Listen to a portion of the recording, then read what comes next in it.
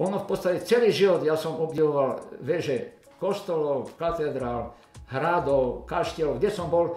Ja chcel som si dať taký úkol, že začnem fotografovať všetky kostoly, veže kostolov na Slovensku.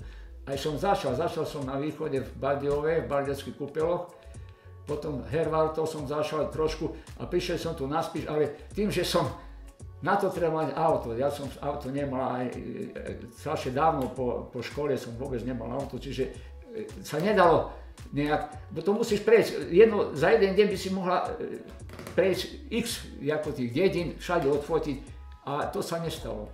Ja som nakoniec tie veže aj tak naďalej fotil a to pre, práve pri tých súťažách na mince, pretože boli témy ako pamiatkové rezerva, mestské pamiatkové rezervácie, a tých je 8 na Slovensku. Čiže ja som bol v každej pamiatkovej rezervácii a som, aby som mal materiál, tak som si fotil. To znamená, tam väčšinou tie, všade sú veže a všade sú tie kostoly a tak ďalej. Čiže ja mám, dokument, mám super fotky niektoré, čo som takto pofotil. No a to ma vlastne potom, no vlastne pre mňa e, tie veže to, to boli monumenty, to boli monumentálne plastiky, ktoré sú, ktoré sú v podstate buď štíhle, buď sú baňáte plné, e, tvaro, tvaroslove je rôzne, ale sú perfektne vyriešené.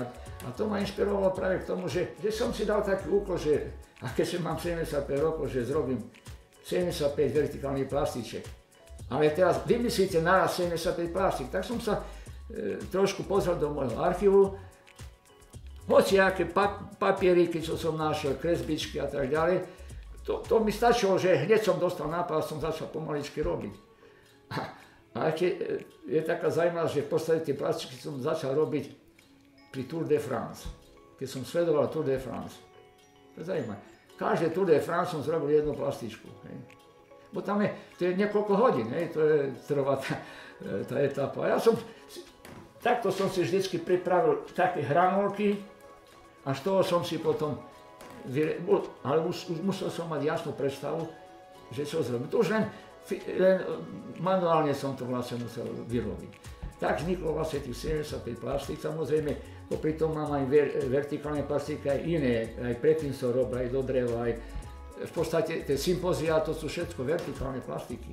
Aj v Ružbáku som som robil, či som robil v Skalici, či som robil e, ako e, Banskej šťavnici, to všetko sú vertikály, hej. Aj tam som robil väžu v podstate, mňa to stále nejak držalo, Bo beža to je, to je fantastická vec, ako keď, a už najmä keď sa dostanete hore a môžete odtiaľ pozerať, to sú ďalšie veci, ktoré sú, čo je dole človek to nevidí. Hej. A hlavne, že idú hore, a viete ku komu? Tomu stvoriteľovi všetkého tu na zemi. Hej.